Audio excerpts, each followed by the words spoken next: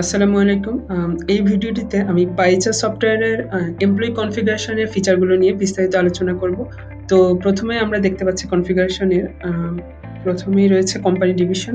Company ডিভিশনে যদি আমরা ক্লিক করি, তাহলে আমরা এই পেজটি দেখতে পাবো।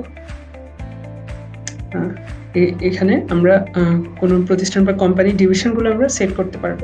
এখানে এই এ গিয়ে আমরা ডিভিশনগুলো আমরা এখানে অ্যাড করতে পারব এবং এখানে আমরা এডিট করতে পারব। তারপর রয়েছে ডিপার্টমেন্ট ফিচার। ডিপার্টমেন্টে আমরা যে কোম্পানির বিভিন্ন ধরনের ডিপার্টমেন্ট থাকতে পারে যেমন HR admin, software development, support, sales and marketing এই ডিপার্টমেন্টগুলো আমরা এখানে এসে কনফিগার করে নেব তারপর রয়েছে ইউনিট। ডিপার্টমেন্টের বিভিন্ন ইউনিট থাকতে পারে যেমন sales, purchase, software, accounts, HR, HR and admin এবং আরও অন্যান্য ইউনিটগুলো যদি থাকে সেক্ষেত্রে আমরা এখানে অ্যাড নিউ তে ক্লিক করে আমরা সহজে এটি অ্যাড করে নিতে পারি। তারপর জব স্ট্যাটাস।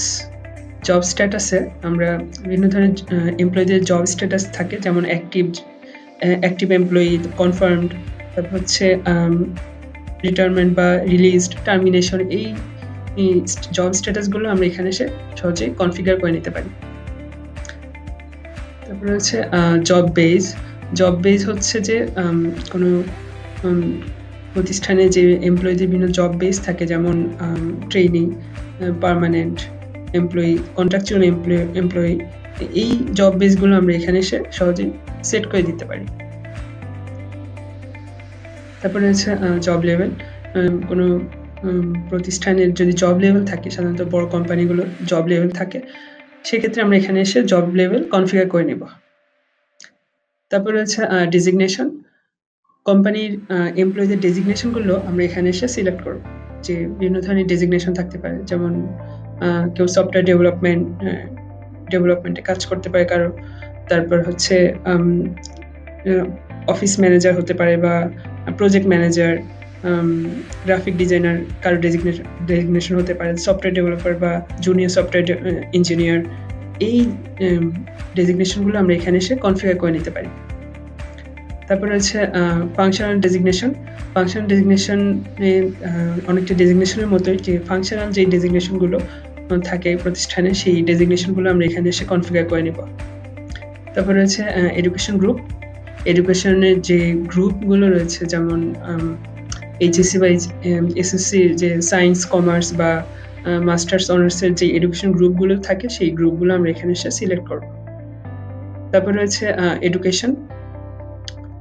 এডুকেশনে হচ্ছে যেই বিভিন্ন ডিগ্রিগুলো রয়েছে এডুকেশনে সেই ডিগ্রিগুলো সাবজেক্ট ওয়াইজ সেই ডিগ্রিগুলো আমরা এখানে এসে কনফিগার করব। তারপর রয়েছে গ্রেড ডিভিশন। গ্রেড ডিভিশনে হচ্ছে যে যে আমাদের এডুকেশনের যে গ্রেড ডিভিশনগুলো থাকে যে কত থেকে কত পেলে কত গ্রেডের মধ্যে পড়বে সেই ডিভিশনগুলো আমরা এখানে এসে কনফিগার করব। যেমন ফার্স্ট ক্লাস, সেকেন্ড ক্লাস বা A plus, A, B plus এই গ্রেড ডিভিশনগুলো আমরা এখানে এসে সহজেই সিলেক্ট করে নিতে পারব তারপর রয়েছে এডুকেশন ইনস্টিটিউট। এডুকেশন ইনস্টিটিউটে আমরা এডুকেশন ইনস্টিটিউটগুলো অ্যাড করতে পারব এখানে।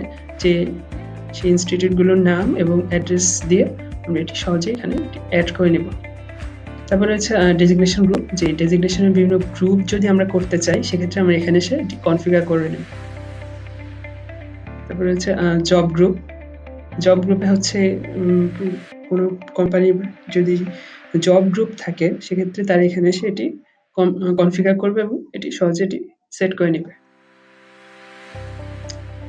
Talent type. ট্যালেন্ট টাইপে হচ্ছে যে এমপ্লয়িদের বিভিন্ন ট্যালেন্ট থাকতে পারে, যেমন কেউ সিঙ্গার বা কেউ ক্রি ক্রিয়েটিভ রাইটার বা কেউ গিটারিস্ট সেই ট্যালেন্ট টাইপগুলো আমরা এখানে এসে কনফিগার করব। তারপর হচ্ছে এমপ্লয়মেন্ট ক্যাটাগরি যে এমপ্লয়মেন্টের বিভিন্ন ক্যাটাগরি থাকতে পারে। সেই ক্যাটাগরিগুলো আমরা এখানে এসে কনফিগার করব। যেমন কি অ্যাকাউন্ট ম্যানেজার বা হেড অফ মার্কেটিং ইত্যাদি বিভিন্ন ধরনের ক্যাটাগরিতে আমরা এটি ক্যাটেগরাইজ করে করতে পারি, বা তো এটি এখানে আমরা এসে সহজেই কনফিগার করে নেব। তারপর হচ্ছে ডকুমেন্ট ক্যাটাগরি ডকুমেন্ট ক্যাটাগরিতে এম এমপ্লয়িদের বিভিন্ন ধরনের ডকুমেন্ট আমরা যদি রাখতে চাই, তো সেটা, তার একটা ক্যাটাগরি আমরা এখানে এসে সেট করে নেব। এখানে অ্যাড নিউতে আমরা অ্যাড করতে পারব, যেমন ক্যাটাগরি নেম ডেসক্রিপশন দিয়ে সহজে এটি অ্যাড করতে পারব। তারপর রয়েছে অ্যাওয়ার্ড টাইপ যে এমপ্লয়িদেরকে বিভিন্ন ধরনের অ্যাওয়ার্ড দেওয়া দেওয়া হয় অনেক সময় কোম্পানি বা প্রতিষ্ঠানের পক্ষ থেকে, তো সেক্ষেত্রে আমরা এখানে অ্যাওয়ার্ড টাইপগুলো সেট করতে পারি। যেমন পারফরমেন্স অ্যাওয়ার্ড বা বিভিন্ন ধরনের স্পোর্টসের জন্য বিভিন্ন ধরনের অ্যাওয়ার্ড থাকতে পারে, সেই টাইপগুলো আমরা এখানে এসে সেট করব। তারপরে রয়েছে ওয়ার্নিং টাইপ যে অনেক সময় এমপ্লয়ীদেরকে বিভিন্ন ধরনের ওয়ার্নিং দেওয়া হয়, সেই টাইপগুলো আমরা এখানে এসে সহজেই কনফিগার করব। তো এই ছিল এমপ্লয়ি কনফিগারেশনের ফিচারগুলো আশা করি আপনারা ইনফরমেশনগুলো বুঝতে পেরেছেন। ধন্যবাদ।